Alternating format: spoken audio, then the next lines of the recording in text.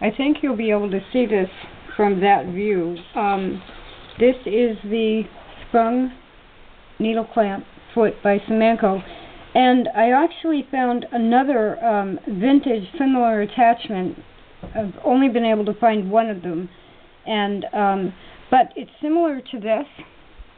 Now, so this is just a rough thing, but I kind of made my own, but this is copper wire.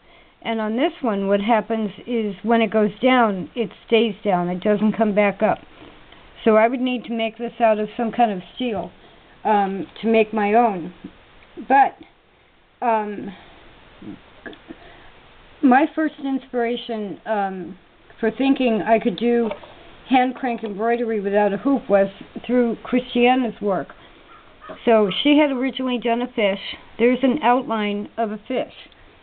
And what I was having problems with when I tried to do a fish were curves.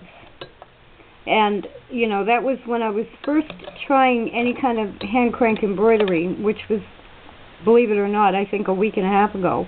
Um, this is going to help with curves.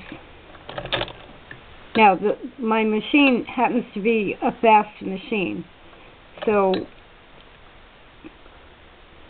what this foot does is that it holds it where you put it so that you can then make your next stitch slowly. So this is a very tiny fish. It's not big enough to have big um, fins. And you can see I'm not really holding it down tightly, but it is puckering a little bit.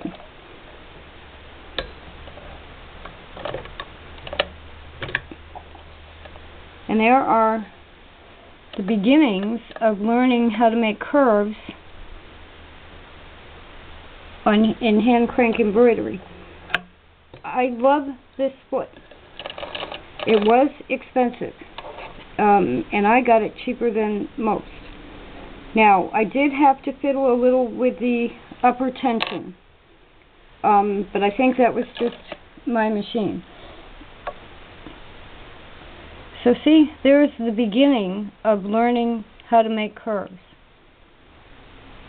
And this foot helps. Now, I'll show you how it goes fast when you're going fast. If you were doing just straight line filling in,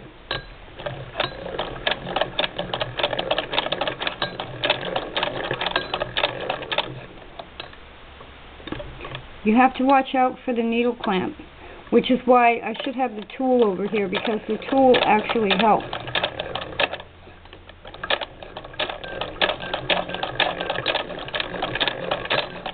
I love this foot. I really think it's an advantage and it changes how my 66 was working before as far as hand crank embroidery. It's wonderful.